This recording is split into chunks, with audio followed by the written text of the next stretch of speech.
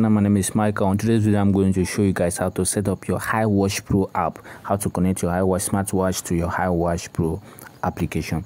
So if you have an Android phone, you have to go to Apple Store and download the app. If you have an Android, you have to go to Google Play Store and download the app. So let's search for it. HiWatch. Here's the application. So after downloading it, I've already got it downloaded. Tap on open to open it. Make sure that the watch is on and fully charged and then the next thing to do on your iphone if you're using iphone is to make sure that the bluetooth is on turn it on and then come. Here is how the main menu the home of the application look. So the first thing to do let me go straight to the point. Come here the right set. Let me show you where i'm talking about here. The right set. Tap on it and then click right here the right bind device to experience more features. So when you tap on it now they will give you they will ask you to give access uh, to the app to have access to your location. Click on allow and you will find the watch that you want to connect to. So we are connecting to t500 plus. We have to tap on it and wait for it to connect completely. So it's connecting. So it will take some few seconds and it will connect completely. So for you to connect you have to make sure that your bluetooth is on. Have to make sure that your bluetooth is on so that it will connect without having any single issues. So it's connecting now. So you have connected. So after you have connected the next thing for you to do is to go straight to the bluetooth to set this. This is very important because without it it may pop up here you can see to pair the wear audio it may pop up like this and you can easily be able to pair it on your android or you go straight to the settings to be able to get this done. So when we tap on this pair now you can be able to pair it. Tap on this one pair. So we have pair it. But if it didn't come up like that you have to go to the settings and search for the well audio. You see the well audio is activated now and search for this well audio now and you can be able to connect it so that you can be able to receive calls and uh, being able to play music on the smartwatch. So after doing that now we have already said that. The next thing to do is to come back to this place the right set to this place the right set so after doing that you have to make sure that watch is properly connected to being able to do that you have to click on here the right find. Here you can be able to click or here. When you click here you can be able to find your smartwatch. You can see the smartwatch vibrate now. In case you misplace your smartwatch this is the best way to find it. So because when anytime you tap on it your smartwatch will vibrate and it will send uh, you'll be able to help you to locate your smartwatch. Let me go straight to the point here right here the right message push. Here is where the main settings are. So probably when you come here um you have to enable this call reminder. Enable sms if you want to be receiving sms on the smartwatch. And then you have to enable the whatsapp um, give the WhatsApp permission to send notification to the smartwatch. So if you want to be receiving notification of WhatsApp messages and uh, other notifications, you have to tap on open and go straight to the app and give it the permission to be able to do that. So we have given it the permission to be able to um, send notifications to our our smartwatch. So probably after doing that, we have to come back and enable the WhatsApp and it will go successfully. You See, set successfully. So you can order enable you can enable other things that you need to be receiving notification on the smartwatch. Important things like uh, maybe Twitter, other stuffs. If you like, you can disable it also.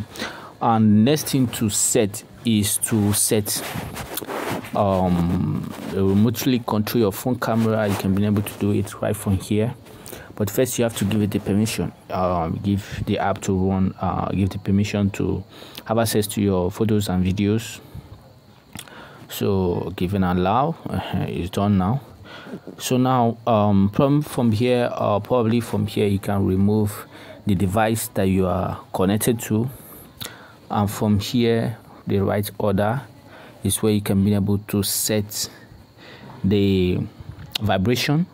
If you want to enable the vibration you can turn it on and turn it off from right here. So if you don't want your your, your smartwatch to be vibrating you can easily be able to turn it off here and being able to turn it on if you want to be getting vibrations when the smartwatch is ringing or sending notifications so from here you can easily be able to reset the smartwatch. And here is where you can be able to set the smartwatch wallpaper. So if you want to put your picture as as if you want to use picture as the wallpaper of the smartwatch you can easily be able to do it right here without having any single issue. Let me show you how to do that quickly. Tap on it and uh, it will load up sometimes it takes a lot of time so i mean uh, i don't want this video to be too long. You can click on change dial. And from here you can choose picture um, custom picture that you want for it to be uh, the wallpaper. Sometimes it takes a lot of time so i don't want to waste much time. You can easily choose it and then tap up here. And uh, when you click here is where it will start um, getting into the smartwatch. So i don't want to do that right now. So let's proceed to the next step.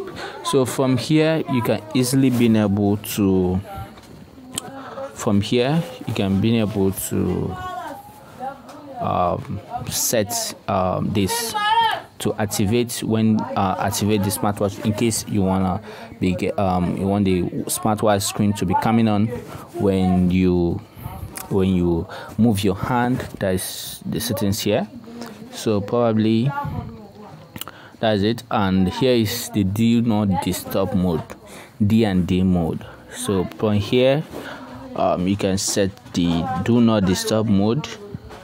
Um, you can set it can set time and uh, you can turn it off also. Because note that anytime you set this D and D mode when you turn it on you will not be receiving any notifications um, to the smartwatch. So from here is where you can set alarm you can choose the time hmm. set the time set Saturday Sunday so for blah blah blah. After doing that you can just click on confirm and the time will set. So when the time reach the watch will start vibrating and you can easily click right here to delete it. Understand without uh, wasting time so this is a very quick um, tutorial on how to connect your high high uh, HiWatch pro smartwatch app to your HiWatch smartwatch so i hope this video is helpful and uh, informative. And i want to show you another thing. Here the right uh, motion is where you can be able to um, start um, in case you are running you're walking from here you can start counting. Probably but before you do this you need to go and register. Understand? Say login first. So from here here is the setting long screen. So probably from here here this section is mainly for sport. And from here you can be able to um, check your blood pressure. Let me show you how to do that quickly. Start measure and you start measuring your bpm yeah, so it, it send the um, signal um, straight to your smartwatch and your watch will start checking your bpm immediately. So that's how it works.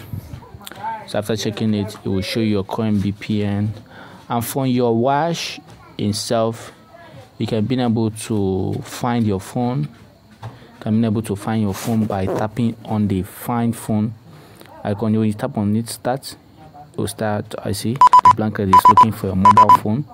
It will be ringing as i will be giving an alarm. You can hear it. Mm-hmm. so that is it. So probably thank you guys for watching. I hope this video is informative. If it's informative and helpful please like this video because that helps a lot. Like the video and share it to your friends. Thank you for watching and have a nice day